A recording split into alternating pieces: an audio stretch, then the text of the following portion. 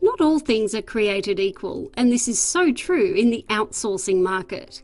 If you want to outsource your standard Australian accounting, tax, and super fund work, you have to be very careful of the provider you use. After all, this is your core, staple work you are giving to someone else to do. Let's look at the seven things you need to know about outsourcing accounting work offshore. Supervision and training.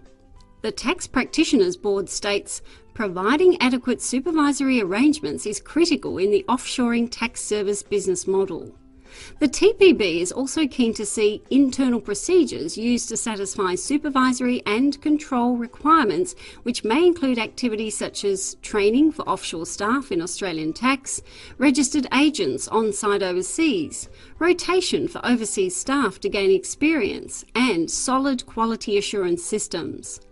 The Managing Director in our Indian office is a member of both the Institute of Chartered Accountants in Australia, is a member of the IPA, has a certificate of public practice, and is an Australian registered tax agent.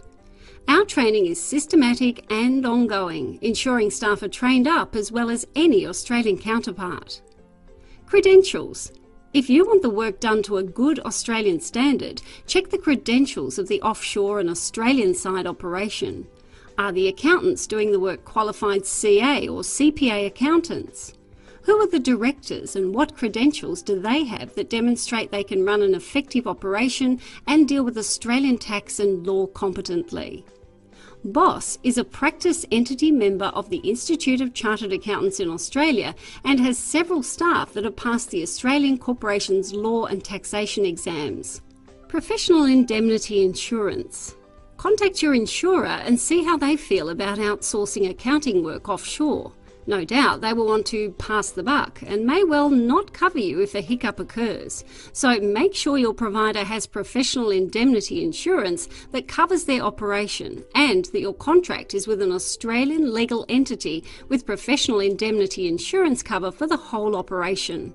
BOSS has indemnity cover and the engagement contract is with our Australian office. Security and confidentiality. What steps does your outsourcing provider take to keep your data secure? Who has access to your client's data? What options are there if you don't want the outsourcing provider to have any data kept locally? Make sure the firm you use does absolutely everything they can to ensure your data is safe. Communication. With 10 years of experience in outsourcing, we know one of the key factors that impacts on the success of using an accounting outsourcing firm is the communication that takes place. When the pressure is on, you want things to be done with the minimum of fuss. For efficiency and effectiveness, once a job is passed to the provider, the accountant in the outsourcing firm should be in direct contact with your accountant. This should be via email, phone, and instant messaging using a service like Skype.